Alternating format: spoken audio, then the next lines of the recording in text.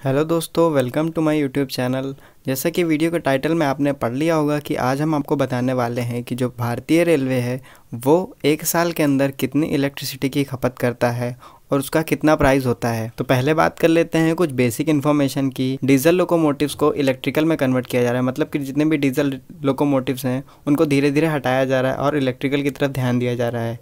जिसकी वजह से जो हमारा इलेक्ट्रिसिटी है, उसकी खपत भी बढ़ते जाएगी। उसकी खपत भी बढ़ती जाएगी। अभी तक रेलवे को जो मैं एवरेज इलेक्ट्रिसिटी की बात करूँ तो वो पड़ रही थी थ्री पॉइंट टू सिक्स यानी कि तीन रुपये छब्बीस पैसे के हिसाब से।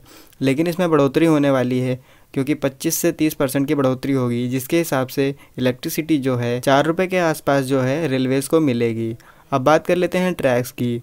तो इंडिया के अंदर सड़सठ हज़ार तीन सौ अड़सठ यानी sixty seven thousand three hundred sixty eight kilometres के ट्रैक हैं, जिसमें बाईस हज़ार पाँच सौ पचास ट्रेन रन करती हैं, जो कि अपने आप में दुनिया का एक बड़ा नेटवर्क है। जिसमें दो करोड़ बीस लाख लोग रोज़ ट्रैवल करते हैं। वहीं तीस लाख चालीस हज़ार टन माल डेली ट्रांसपोर्ट होता है, यानी इंपोर्ट और एक्सपोर्ट होता है। तो आप बात कर लेते हैं कि जो रेलवेज़ है, वो एक साल के अंदर कितनी इलेक्ट्रिसिटी को खर्च करता है। तो अगर बिलियंस में बात करें तो तो हर साल भारतीय रेलवे 18.5 बिलियन यूनिट्स इलेक्ट्रिसिटी ख़त्म करता है। यानी कि 1850 करोड़ यूनिट की इलेक्ट्रिसिटी खपत होती है हर साल।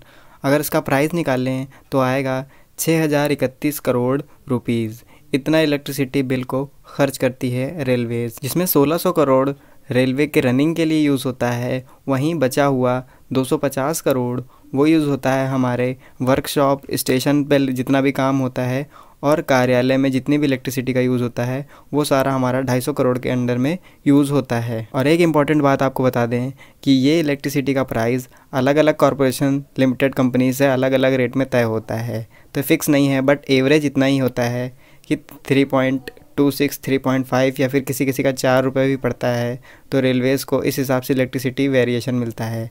लेकिन एवरेज की बात करें तो इतना ही होता है।